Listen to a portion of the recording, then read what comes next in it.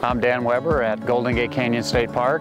I'm here today to share a few stories about Golden Gate and tell you about some of the activities here. We like to sell ourselves as a four-season park that people can do activities year-round at. Some of the things people can do at Golden Gate Canyon State Park are hiking, backpacking, camping, fishing, hunting, rock climbing. Some of the winter activities, we have a tubing hill here, cross-country skiing, winter camping. We have some of our camp loops open all winter long, some cabins and yurts that are available so people can come up and stay and spend the weekend. Ice fishing, We do have some hunting activities through the winter also. We have our annual Christmas tree cut uh, when we bring uh, about 350 or 400 people up and they get into the backcountry and cut their own Christmas tree. We do an open house here at the Visitor Center. We do start off the year every year with the first day hike, which is January 1st, trying to get people out onto the hiking trails. Fall is probably one of our busy times. Summer is obviously busy, but fall takes on a whole new level because of the aspen viewing. So when the color colors change in Colorado. People like to get up into the mountains and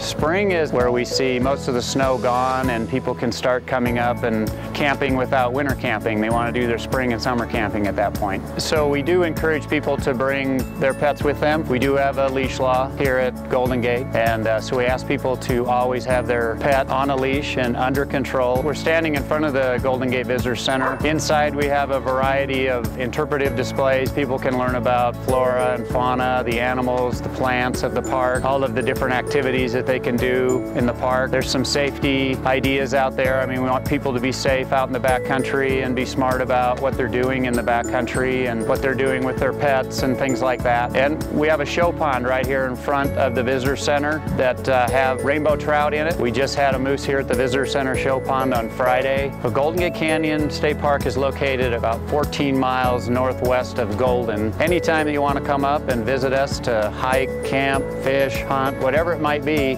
just come on up and uh, we'll be glad to accommodate you.